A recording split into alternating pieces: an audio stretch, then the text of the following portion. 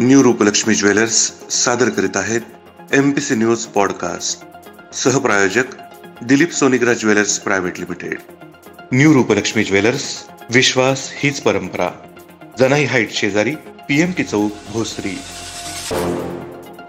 नमस्कार. M P C news पॉडकास्टमध्ये आपलं स्वागत.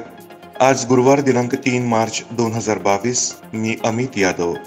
पुणे व पिंपरी चिंचवड परिसरासह देशातील ठळक घडामोडींचा घेऊयात. थोडक्यात आढावा. सुरुवातीला दुर्घटनेची बातमी. पुण्याच्या लोणी काळभोर पोलीस स्टेशनच्या हद्दीत शौचालयाची टाकी दुरुस्त करण्यासाठी टाकीत उतरलेल्या चार जणांचा दुर्दैवी मृत्यू झाला. लोणी काळभोर परिसरातील कदमवाग वस्ती परिसरात बुधवारी सकाळी ही घटना घडली.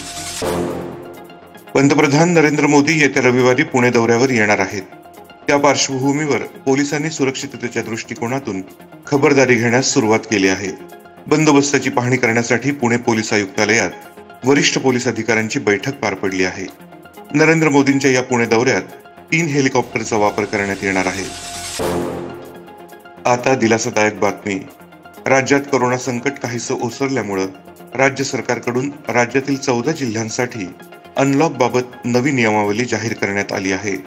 यातील नव्या मार्गदर्शक सूचनांनुसार चौदा जिल्ह्यातील नाट्यगृह सिनेमागृह रेस्टॉरंट्स पर्यटन स्थळ धार्मिक स्थळ शंभर टक्के क्षमतेनं सुरू राहणार आहेत.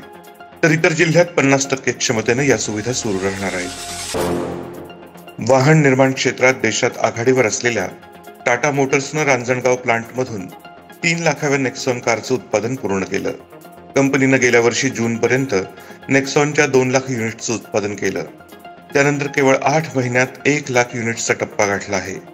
टाटा मोटर्सनं सोमवारी पत्रकाद्वारे ही माहिती दिली. पिंपरी चिंचवड महापालिकेच्या आगामी निवडणुकीसाठी प्रसिद्ध केलेल्या प्रारूप प्रभाग रचनेच्या आराखड्यावर आलेल्या हरकती व सूचना प्राधिकृत अधिकारी अनिल कवडे यांच्या अभिप्रायासह बुधवारी राज्य निवडणूक आयोगाला पाठवल्या आहेत. महापालिकेनं या हरकती आयोगाकडे पाठवल्या. पाच हजार सहाशे चौऱ्याऐंशी हरकतींपैकी किती हरकती ग्राह्य धरणार व किती फेटाळणार याबाबत आता उत्सुकता आहे. Dilip Sonigra jewellers private limited. प्रत्येक क्षण एक सोनेरी आठवण.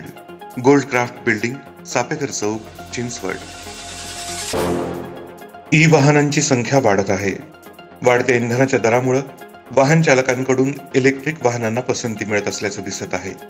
इलेक्ट्रिक वाहनांना प्रोत्साहन देण्यासाठी महापालिकेद्वारे शहरामध्ये विविध ठिकाणी चार्जिंग स्टेशन उभारण्याचं महापालिका प्रशासनाचं नियोजन आहे. कॅबिनेट मंत्री आणि राष्ट्रवादी काँग्रेसचे नेते नवाब मलिक यांना दाऊद इब्राहिमशी संबंधित जमीन खरेदी केल्याच्या आरोपावरून अटक करण्यात आली. सध्या ते ईडीच्या कोठडीत आहेत. त्यामुळे त्यांनी राजीनामा द्यावा अशी मागणी भाजप नेत्यांकडून करण्यात येते. परंतु कुठल्याही परिस्थितीत त्यांचा राजीनामा घेतला जाणार नाही असे राष्ट्रवादी काँग्रेसचे प्रदेशाध्यक्ष जयंत पाटील यांनी स्पष्ट केले. पिंपरी चिंचवड शहरातील नागरिकांना येणाऱ्या समस्या सोडवण्यासाठी मावळचे शिवसेना खासदार श्रीरंग बारणे यांच्या पुढाकारानं गुरुवारी आयोजित केलेल्या जनता दरबाराचं स्थळ बदलण्यात आलं आहे. आकुर्डीतील सीझन बँकवेट हॉल ऐवजी चिंचवड येथील ऑटो क्लस्टरमध्ये हा दरबार होणार आहे. पिंपरी चिंचवड महापालिकेच्या नागरवस्ती विभागाअंतर्गत महिलांना प्रशिक्षण देण्यासाठी नियुक्त केलेल्या अखिल भारतीय स्थानिक स्वराज्य संस्था या ठेकेदार एजन्सीनं भाजप पदाधिकारी आणि प्रशासनाच्या मदतीनं दोन हजार वीस एकवीस या वर्षात सत्तावन्न कोटी रुपयांचा भ्रष्टाचार केला असा आरोप भाजप नगरसेविका माया बारणे यांनी केला आहे. आता घेऊया करोना अपडेट्स. महाराष्ट्रात आज दिवसभरात पाचशे चव्वेचाळीस नव्या करोना रुग्णांची नोंद झाली असून एक हजार सात करोनामुक्तांना डिस्चार्ज देण्यात आला आहे. राज्यात आतापर्यंत सत्याहत्तर लाख तेरा हजार पाचशे पंच्याहत्तर रुग्णांनी कोरोनावर मात केली आहे. पिंपरी चिंचवड शहरातील कोरोनाची रुग्णसंख्या घटली आहे. शहराच्या विविध भागातील सव्वीस नवीन कोरोनाबाधित रुग्णांची बुधवारी नोंद झाली.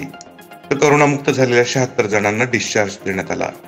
याबरोबरच या वार्तापत्रात वेळ झाली आहे थांबण्याची.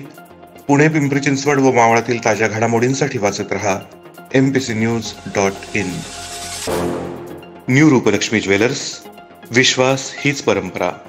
जनाई हाईट शेजारी पीएमटी चौक Bhosari. Dilip Sonigra jewellers private limited. प्रत्येक क्षण एक सोनेरी आठवण. गोल्ड क्राफ्ट बिल्डिंग सापेकर चौक चिंचवड.